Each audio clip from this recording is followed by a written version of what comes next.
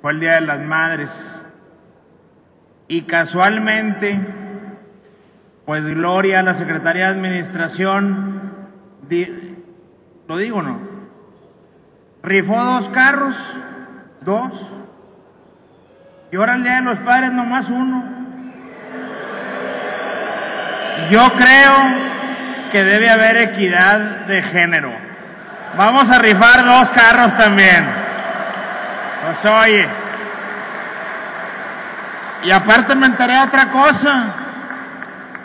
Con las mamás les dijeron, vénganse tranquilas, quítense tacones, vamos a bailar y les vamos a dar todo el día. También a los hombres, ¿no? Vamos a darles todo el día. Viene comediante, comida, viene grupo, el poder del norte, ¿quién le gusta? A ella. Me voy a quedar aquí, compadre.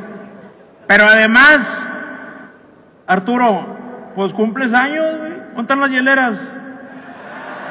Arturo va a poner las cheves también, hombre, para que se arme la fiestona. Nada más me lo felicitan. Y ahorita hablando de los papás, vengo muy formal. Nadie me avisó que era vaquero esto. Vámonos ya.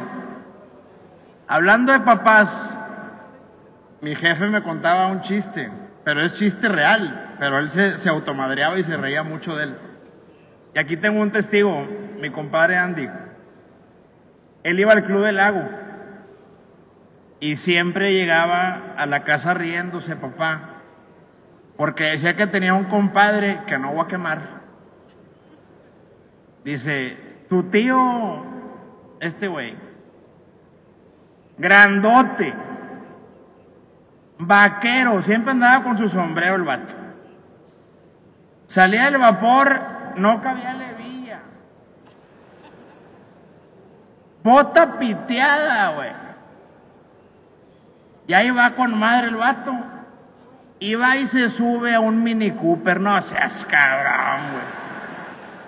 Es para que traigas pick-up, compadre, le decía.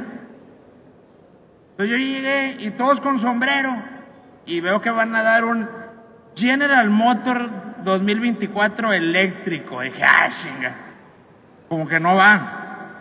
Entonces, ¿qué opinan? Levanten la mano que el segundo carro sea una pick-up. Mira, hasta parece anuncio de Tecate, chinga, se, vio con madre. Entonces, van a ser dos. El primero, el eléctrico, para los que son fashion. Y la segunda, una pick-up. Hoy sacamos el boleto y mañana la recogen, pero una mamalona. ¿Estamos? Hoy le voy a contar a papá que invite al tío este a cenar para madrearlo. Yo creo que era de una hija o algo, porque no cabía, se quitaba el sombrero, ya no cabía, ya no entraba el güey al desmadre. Pero bueno, estoy muy contento de que hoy disfruten este día, que realmente va a ser todo el fin de semana. Qué bueno que hoy van a tener este viernes para disfrutar, para que estén con sus colegas, con sus amigos, de parte del gobierno, de parte de los poderes del SUSPE, pues queremos agradecerles, en especial un servidor que llegamos a nuestra mitad de gobierno. Pasaron volando tres años, nos quedan otros tres. No tengo duda que van a ser mejores, pero lo más importante es que si vamos a exigir excelencia en la calidad de trabajo, también se dé esa reciprocidad a quienes dan la cara que son ustedes. Así que un aplauso a todos los servidores públicos de Nuevo León. Y pues también es un día para, para recordar, para agradecer. Yo agradezco a Dios todos los días que sigue mi papá con vida, mi mentor, mi tutor, por quien doy todo. Ojalá que este fin nos podamos ir al rancho o algo a convivir.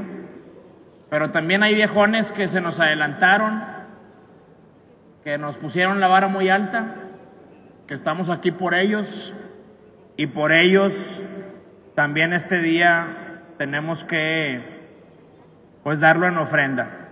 A tu jefe, Ricky, me tocó un año y medio ser gobernador con él, de primera pieza, lo que decía lo cumplía y siempre, siempre buscando la mejora laboral de sus agremiados y que los que estaban por honorarios, que eran bastantes, que nos dejó el gobierno anterior sin base, ya tenemos un programa muy ambicioso para que en lo que resta del gobierno todos tengan su base y todos tengan seguridad jurídica, porque no se puede exigir desde el gobierno que, los, que nos ayuden si no les damos lo mínimo, que es la seguridad de que van a ser los proveedores de su casa con un empleo seguro, remunerado. Todo lo que hizo por ustedes.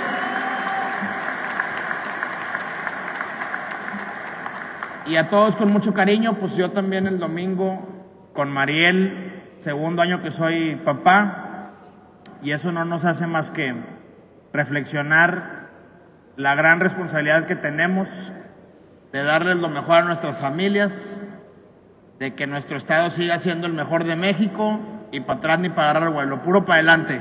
Muchas felicidades y vamos a la rifa del eléctrico y luego de la pick Arturo, ve pidiendo la cheve, no te hagas, güey.